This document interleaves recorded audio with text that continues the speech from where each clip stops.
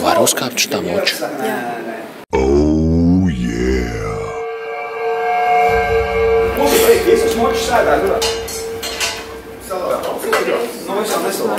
Agnē, tur normāli izskatās. Nezinu, kā tu tur izskatītos. Tā vienkārši par tavu veselību uztraucās.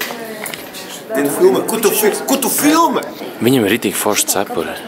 Augstākais, cik tu suliec, ir kaut 5-6 metri augstumā. Nē, es eh, 12. gadā uztaisīju um, Eiropas, Eiropas rekordu. Un, uh, tur augstums bija 26 metri.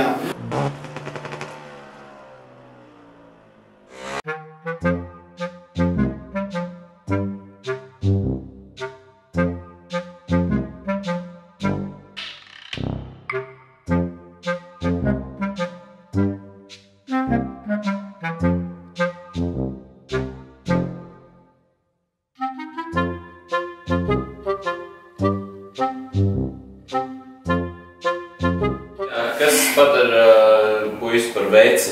Ja tu vari uzņemties, nu, atbildēt par to, ko tu dari, ko tu runā, un, un, un tas ir. Un vēl man vienkārši viens jautājums, cik es gribu saprast, eh, cik ir ļoti iekavējis. Cik gados tu pārvācies un dzīvojies beidzot?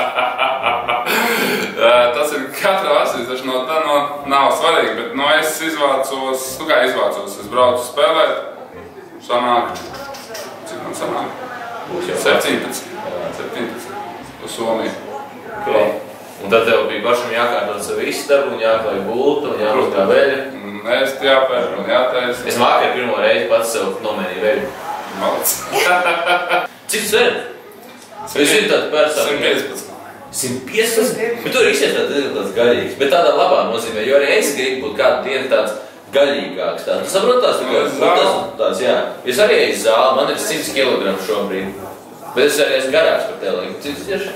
Jā, varētu būt. Trīsdesmit. Jā. Kā, kas, ko, ko tu ēdi, tā kā, nu, reāli? Nu, Ko reāli nedomāju. Vienkārši moči iekšā. Nē, nu kā moči. Tev presa nav, ne?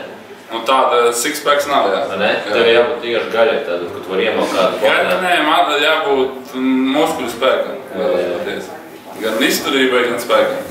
Tev skaļi balss ir tāpēc, ka tu bļauj uz uh, laukuma, ne uz spēlētājiem. Nu, tā kā jums jāsarunājas savas par ļoti skaļi, bet tev ir reāli skaļi balss. Nē, man skaļi valsts, tāpēc, ka bērnībā mums telefona nebija un vajadzēja, tu varēji iziet tik robežās mājās tik tālu, lai tu varētu vienmēr atdot atpakaļ mammai, ka tu esi tepat.